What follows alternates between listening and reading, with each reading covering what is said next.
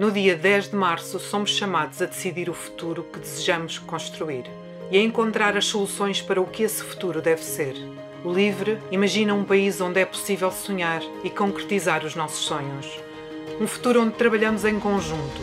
Um futuro de liberdade e igualdade num planeta mais verde que não deixa ninguém para trás. Quando falamos da semana de quatro dias, é de futuro que estamos a falar. Quando falamos do subsídio de desemprego para as vítimas de violência doméstica, é de futuro que estamos a falar. Um futuro com mais tempo para viver. Um futuro que garante uma ferrovia acessível e que une todo o país à Europa.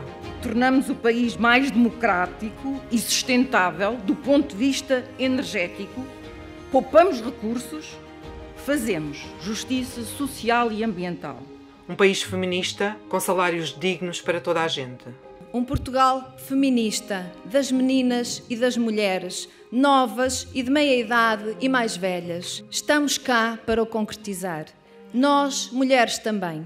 É hora de deixarmos apenas de fazer pequenos almoços, é hora de fazer política. Assinamos este contrato com o futuro, com a defesa inabalável dos direitos humanos e de uma Europa solidária.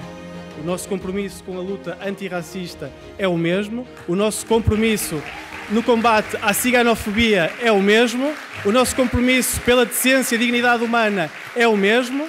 O nosso contrato com o futuro é também um compromisso com a igualdade e com Portugal onde todas as pessoas possam ser quem são, aonde quer que estejam. Um país na vanguarda da Europa. Um país de futuro e de ciência, que não deixa cair o SNS nem a escola pública.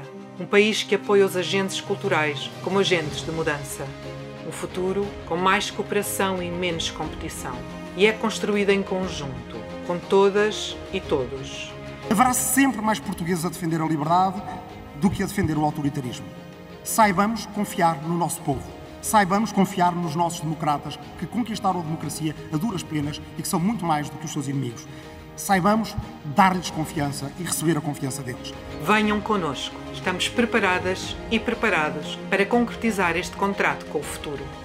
Um voto no futuro é um voto que muda o presente. Dia 10 de março, o voto é livre.